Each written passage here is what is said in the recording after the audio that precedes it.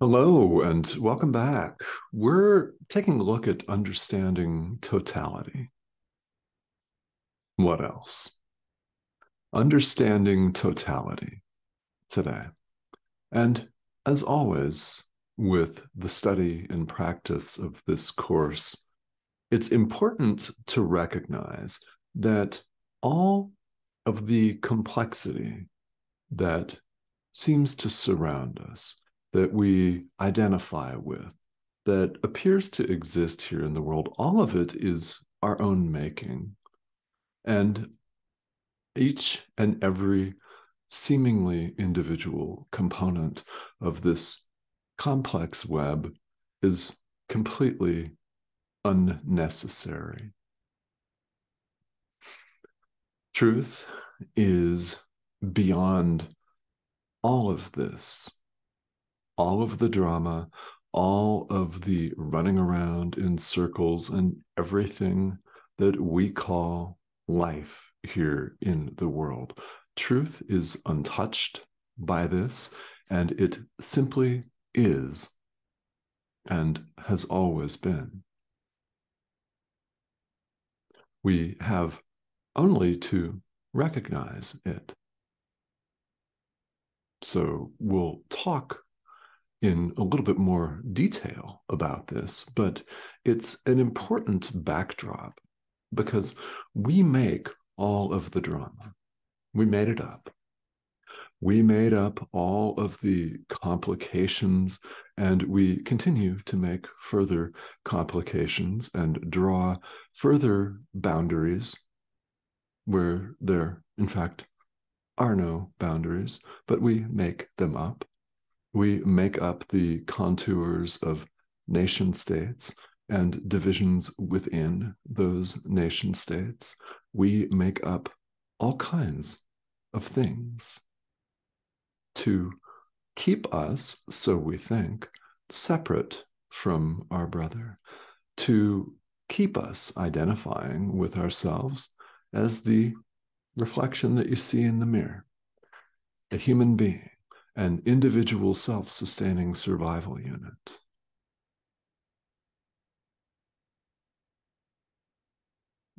Reality is far different. And here in the study of A Course in Miracles, and indeed in spirituality in general, no matter what the outward form may take in the world, there are many doors, but the statements of truth are very simple. Our inner teacher is pointing us back home, so to speak, with the message that we've never left our source. Ideas leave not their source. Yet, here, while we appear to be on a journey, we have the study and practice of this material. And the basic ideas are very simple. They're so simple, they escape our understanding. And we think that these simple ideas somehow comprise some great mystery. What mystery? Truth, of course, is beyond words. Our reality as one with God is beyond all words, including the statement that we're one with God, including the two word and just two syllable statement God is. That is as simple and as close as we can come in words, unless you want to just say one oneness.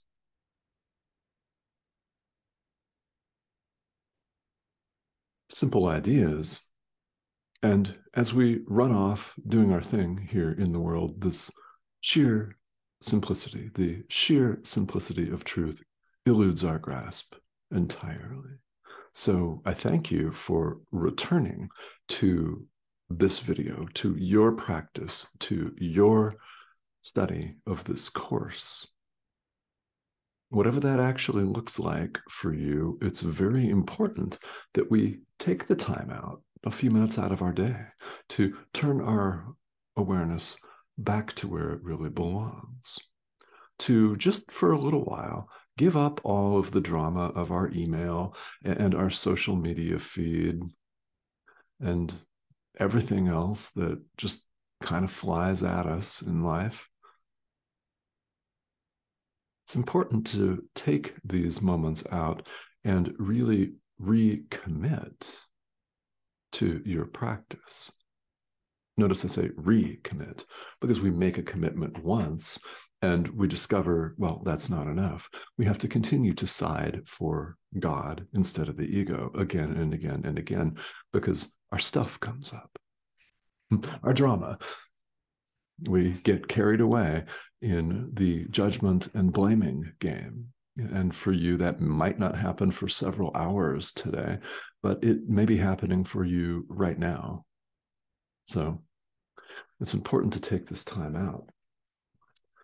As we wrap up this section of the text, chapter 7, section 7, the totality of the kingdom, Jesus invites us to understand totally by understanding totality. Mm. That's where the title of this video came from. Understand totally, 100% completely, by understanding totality. God is you are the will of God. You ever think of yourself that way as the will of God?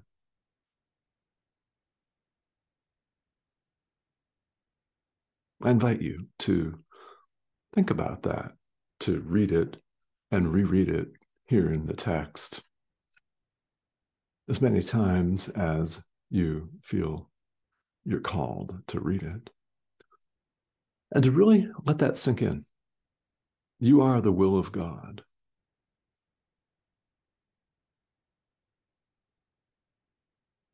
And I invite you to take some time thinking about what that really means. And if you're not sure, ask your inner teacher to show you. Ask your inner teacher to show you what that means. And the words that you'll hear are your own. Let's highlight your inner teacher is inner, part of your mind. When the profound nature of this truly begins to sink in. It's pretty amazing.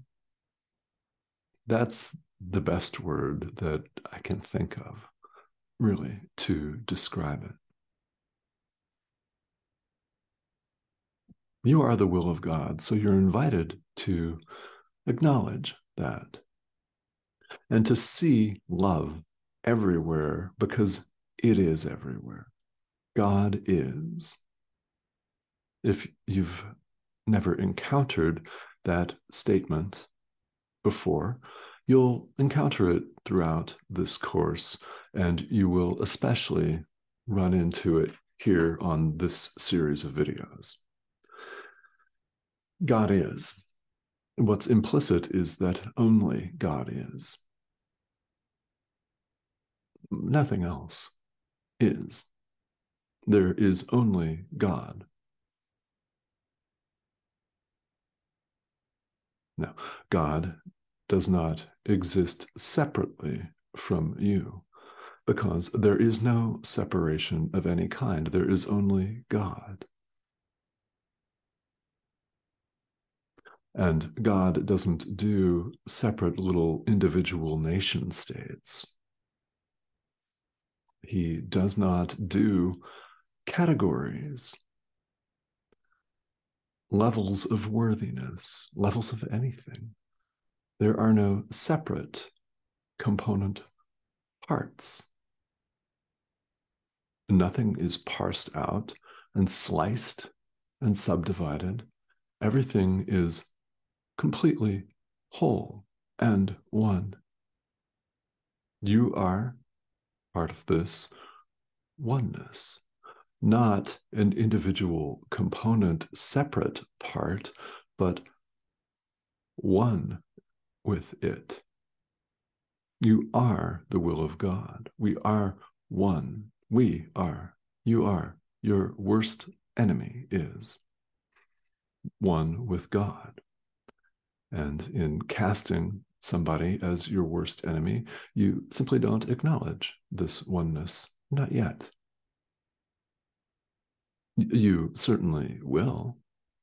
And when you do is largely up to you and the forgiveness work that you choose to do in this lifetime under the guidance of your inner teacher, who will tell you what to think, who will tell you what to do and what to say, and what to type in a chat box if it comes to that. Anything.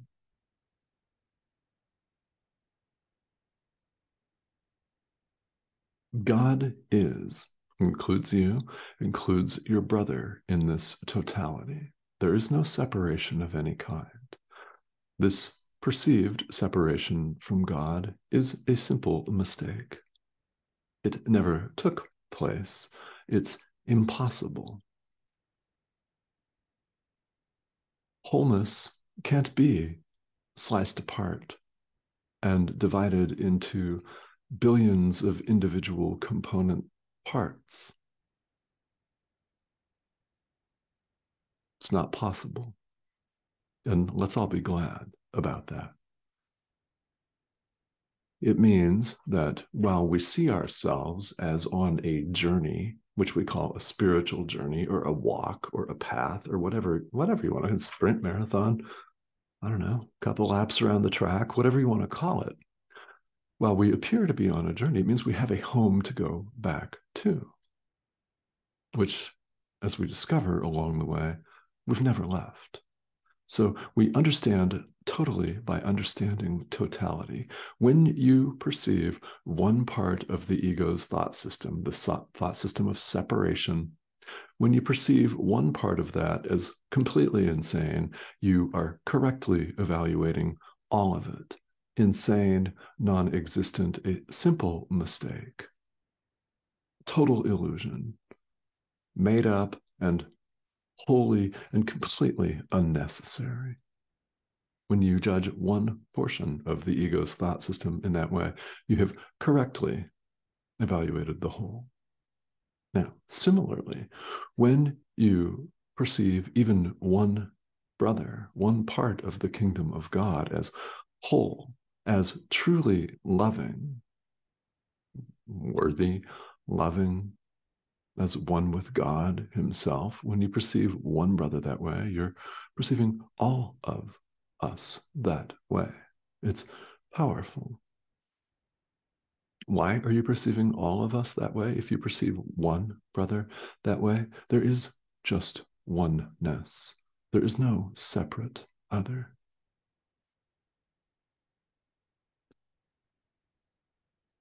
So it's one of those ideas that is a simple idea in statement, isn't it? There is no separation of any kind. So, what then do you do when your entire reality and everything that you see and taste, touch, feel, hear, smell in this world says otherwise?